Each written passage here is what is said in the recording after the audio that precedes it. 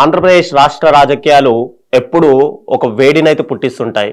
నిన్న రీసెంట్గా చంద్రబాబు నాయుడు మరియు పవన్ కళ్యాణ్ భేటీ గురించి బయట అయితే హాట్ టాపిక్స్ హాట్ ట్వీట్స్ అయితే నడుస్తున్నాయి.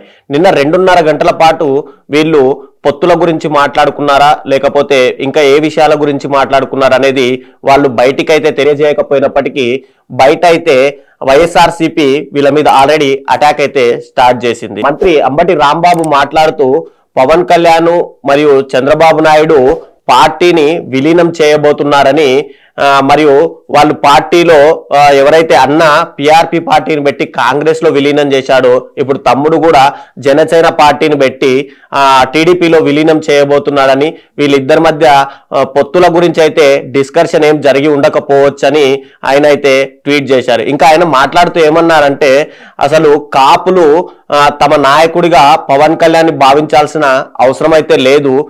కాపు నేతగా చ- సీఎం అయ్యే అవకాశము పవన్ కళ్యాణ్ అయితే లేదు. కాబట్టి కాపులందరూ ఎవరైతే వాళ్ళ అభివృద్ధిలో ముఖ్య పాత్ర పోషిస్తున్నాడో జగన్మోహన్ రెడ్డి కాపులకు అత్యంత ముఖ్యమైన స్థానాలు కానీ ముఖ్యమైన సీట్లు కానీ కాపుల అభివృద్ధిని కానీ ఆ చేస్తున్నది ఎవరైనా ఉన్నారంటే అది వైఎస్ జగన్మోహన్ రెడ్డి అని.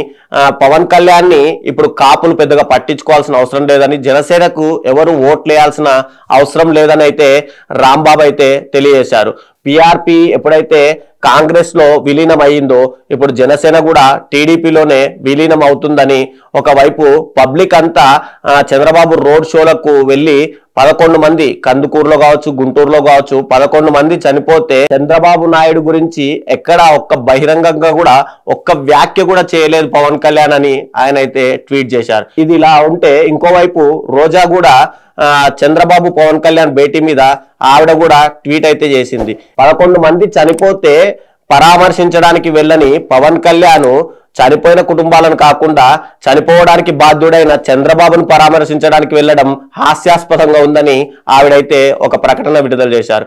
వీళ్ళు రెండున్నర గంటల భేటీ తర్వాత పవన్ కళ్యాణ్ బయటకు వచ్చి ప్రెస్ మీట్లో బీఆర్ఎస్ పార్టీ ఆంధ్రప్రదేశ్లోకి ఉంది బీఆర్ఎస్ పార్టీ తెలంగాణ వాదాన్ని ఎప్పుడో వదిలేసిందని ప్రజాస్వామ్యంలో ఎవరికైనా పార్టీలు పెట్టుకునే హక్కు ఉంది.